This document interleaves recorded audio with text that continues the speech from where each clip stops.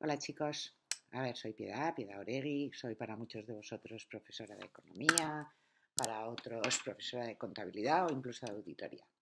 Bueno, lo primero y más importante es nada, desear que vosotros y vuestras familias estéis todos bien, la verdad, y que estéis llevando este confinamiento pues con el mejor humor posible. Ya sabéis que lo que tenemos que hacer es quedarnos en casa. Bueno, dicho esto, yo no os voy a hablar de la crisis sanitaria, que todos sabéis que es la más importante que tenemos que resolver ahora, sino de la crisis económica que está asociada a esa crisis sanitaria.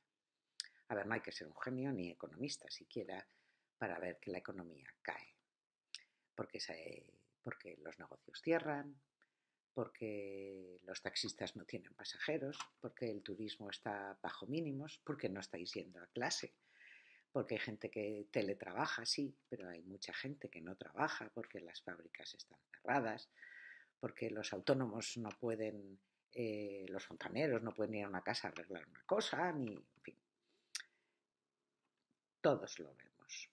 Todos vemos que esta crisis es, a ver, extraordinaria. Extraordinaria no en plan bien, sino extraordinaria por la rapidez, la globalización, afecta a todos los sectores, afecta a todo tipo de compañías y es distinta, distinta a cualquiera otra de las que hubiéramos conocido antes.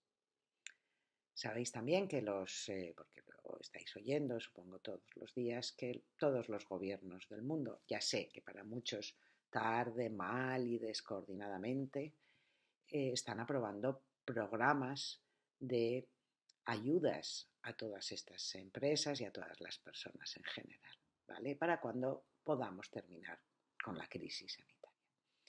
Porque ¿qué es lo que se pretende con esta movilización de dinero en las que se hablan de billones de dólares, de miles de millones de euros?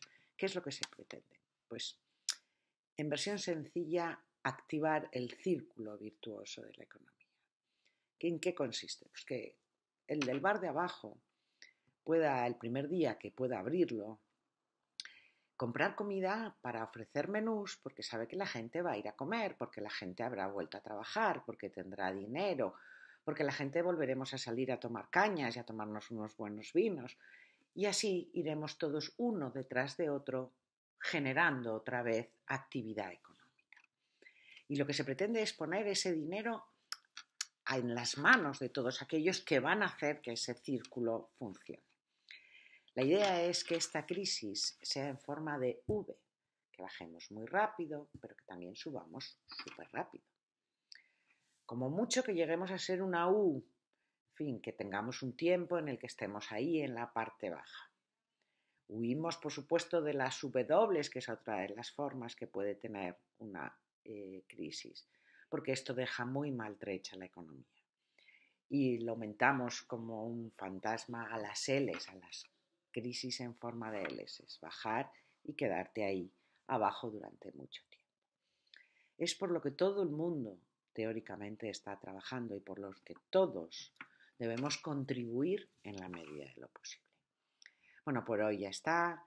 Mañana, si puedo, os cuento alguna cosa más.